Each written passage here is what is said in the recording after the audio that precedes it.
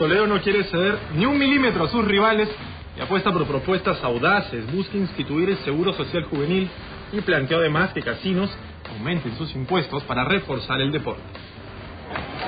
Dijo que se metería en el corazón del APRA y para ello, el candidato de Perú posible Alejandro Toledo, ni bien llegó a Trujillo, decidió visitar el cementerio donde permanecen los restos del líder histórico de ese partido, Víctor Raúl Aya de la Torre. Porque creo que es un personaje que no solo le pertenece a los apristas,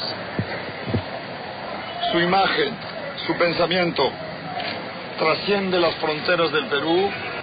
Ante la insistencia de la prensa local, Toledo se animó allí mismo a responder otros temas de coyuntura, como las recientes denuncias que le hiciera una revista local. Yo creo que viene amarrado con una intencionalidad política, por eso digo que Caretas ya tomó partido y pierde su credibilidad.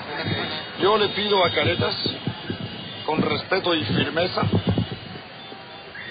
que saque una rectificación, porque ha tenido una patinada impresionante. Respondió también sobre la presunta campaña millonaria que está realizando, específicamente sobre los gastos del avión en el que se traslada.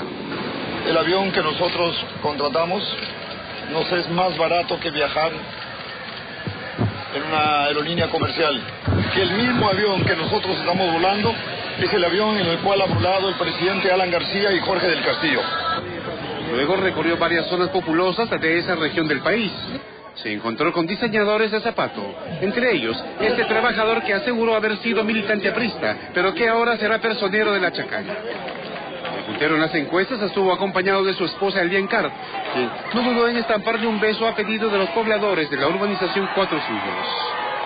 La noche, Toledo Manrique estuvo en la Plaza de Armas de Trujillo, donde frente a sus simpatizantes realizó un mitin en el que se comprometió a reforzar la seguridad ciudadana.